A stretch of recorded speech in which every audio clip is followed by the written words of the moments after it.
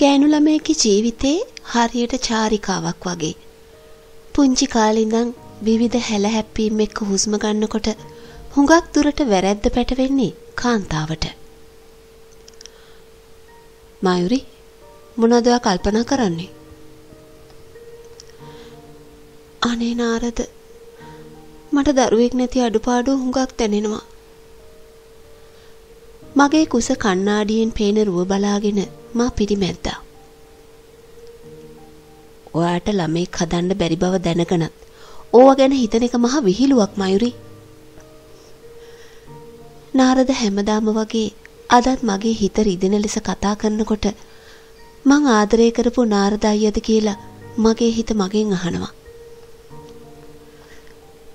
අපි ළමේ කරන් හදාගමු අයියේ. ඔයාට පිස්සුද මයුරි? අපේ අම්මලා ඔයාට කැමති නෑ. අනික Tamanටම කියලා දරුවෙක් හදාගන්න බැරි ඔයා නිසා නෑදෑයෝ ඉස්සරහා මමත් ලැජ්ජ වෙනවා.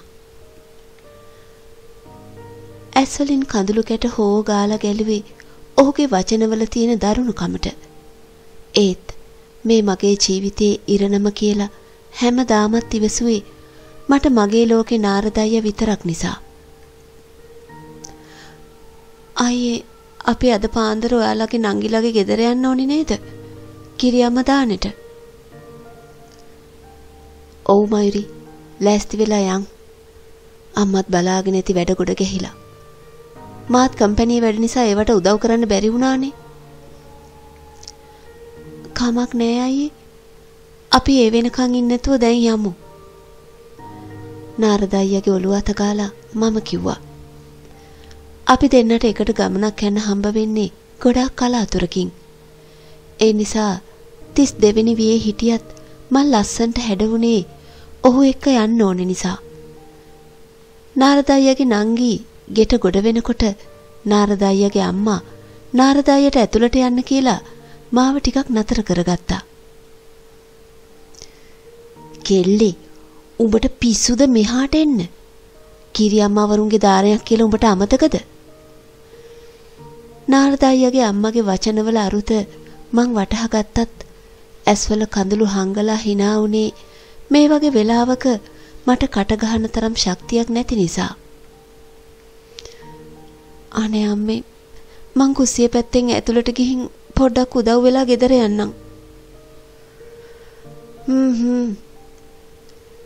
ඇගේ උත්තරේ ළඟ මම අසරණ නොවි කුස්සිය පැත්තෙන් ඇතුල් වෙනකොට නාරදయ్యගේ නංගි මගේ දිහා බලාගෙන සමච්චලයට hina වුණා. නංගි මහත් වෙලා ලස්සන වෙලා මං කිව්වා අක්කා මොකටද මේ පැත්තේ?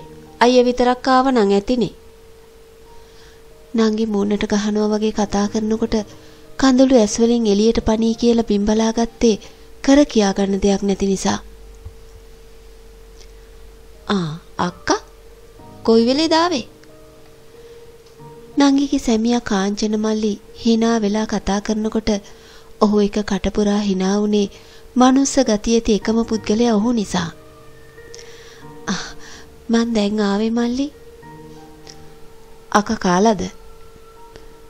ඔව්. කාලා ආවේ අපි දෙන්න. කොමලි චූටි පුතා? කාමරේ ඇතියක්කේ ගිහින් බලන්න.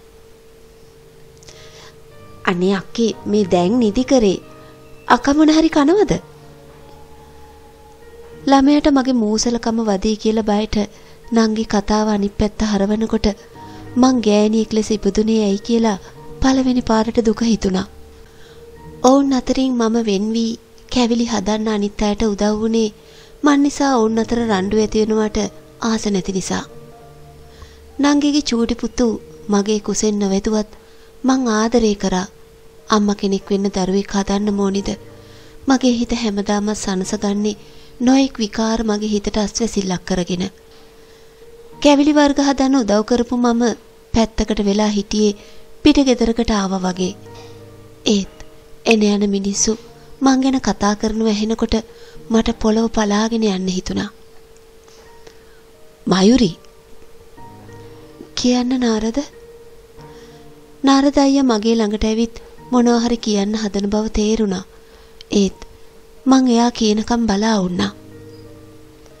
මයුරි මේ අම්මලා නංගිලා ඔයා එක්කගෙන ආවට බනිනවා. අපි ගෙදර යන්. මට ඔයාව මෙතන අසරණ කරන්න බෑ. ඒත් නෑ දෑයෝ ඉස්සරහා ඔයාව විහිළුවක් වෙනවා.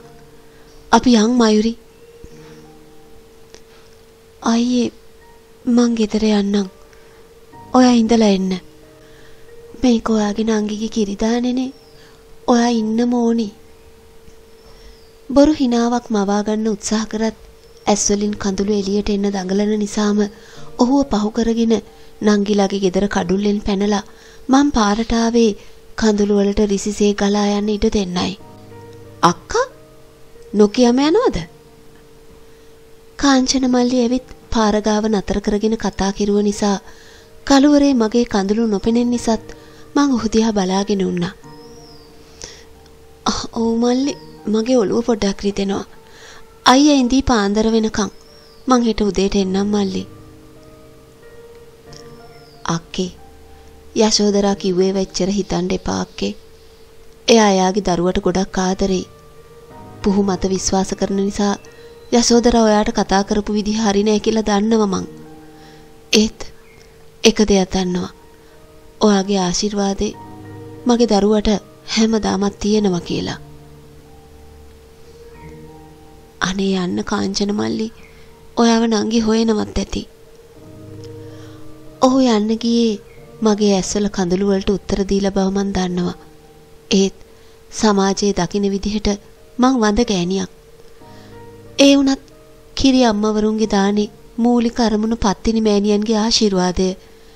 ඒත් සමහර අය නොදන්න එකම ඇත්ත තමා පත්තිනි දෙවගණත් දරුවන් නොමැති ගැහණියක් බව. කඳුළු අතරින් මං පාර දිගේ ගෙදර ගියා. මං ජීවිතේ මැරෙනකම්ම මේ වේදනාව විඳවීම සමාජයෙන් ලක්වෙන පීඩනය හැම දෙයකටම ඉතුරු වෙන උත්තරේ ඉවසීම නිසා. මේ කතාව තුළ ජීවත් වෙන මයුරි වගේ අය මේ ලෝකේ ඕන තරම් ඉන්නවා. දරුවෙක් කුස තුලට එයි කියලා හැමදාමත් හීන දකිනවා.